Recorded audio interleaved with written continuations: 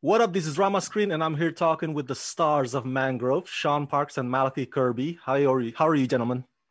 Yeah, we're good. How are you doing? Good, good, good. Thank you for taking the time, and congratulations on the film. For both of you, when playing real, actual characters, especially civil rights legends like Frank and Darkus, those are big shoes to step into.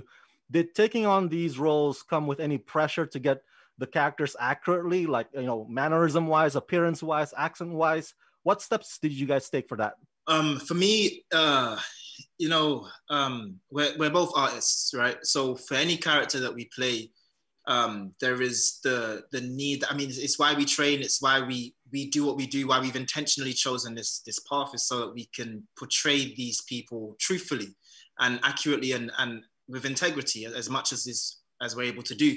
Um, for me personally, there was an extra pressure, I guess, because there is so much uh, documentation of him, you know, um, both on video and written about him.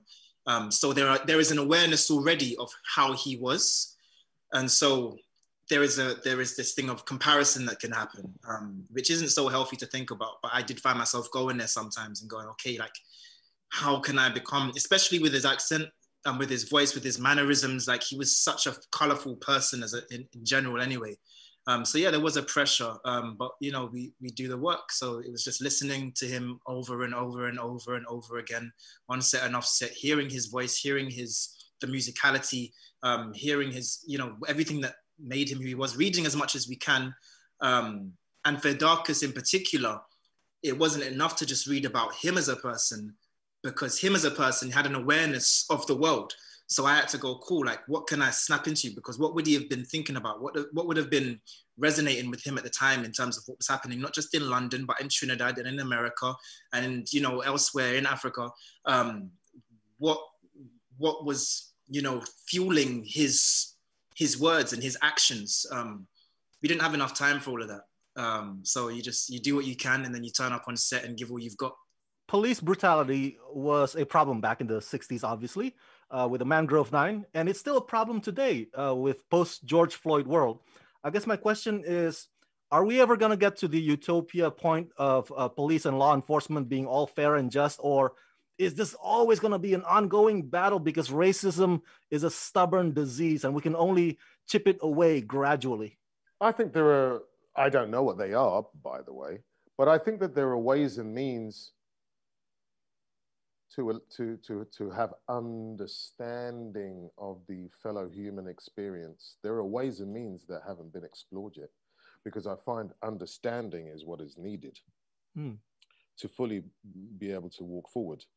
Um, and I, you know, and it's quite possible, if not probable, but quite possible that shows like this, uh, and I know, you know, I'm bringing it back round to our show and everything, but it's quite possible that heartfelt shows um, that don't bash people around the head politically, but actually have just have a heartfelt story about them and happen to be true, um, might be able to, um, you know, bring some understanding to the table rather than just, um, you know, a cerebral political um, agendas.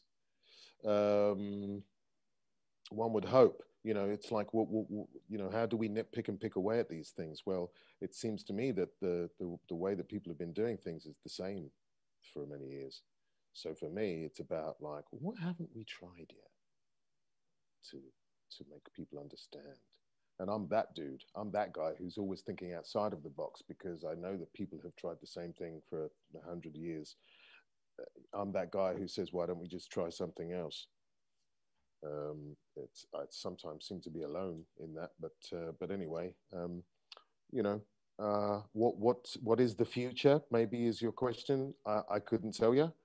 Uh, what's needed? I don't know uh, do I think a show like ours or sh shows like ours, um, as I've said, heartfelt and, um, and, and whatever else that we could use to describe it, uh, can be useful?